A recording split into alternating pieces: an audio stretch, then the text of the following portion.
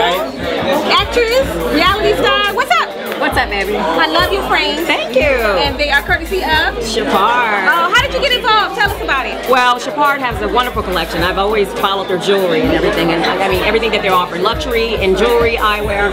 And so when they approached me about hosting their event, I was excited about it. So, it, you know, to be joined with someone about fabulosity and luxury, and I'm in. So tell us about your favorite summer accessory Sunglasses? Oh, absolutely. I own like probably a hundred sunglasses. I love I love sunglasses.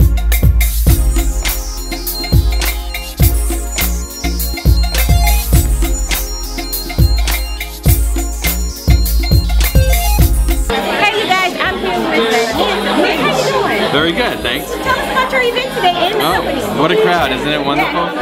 Well, we're here representing Chopard Eyewear, you know, one of the most exclusive eyewear collections uh, in the world.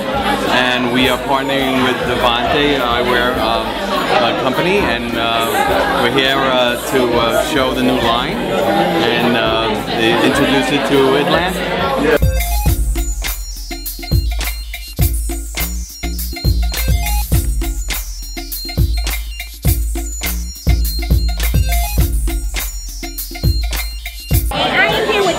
The marketing director. account executive, brand ambassador, the face of Chopard um, for Atlanta. Lisa Wu, she's a great, great friend of mine, so you know I'm blessed to have her.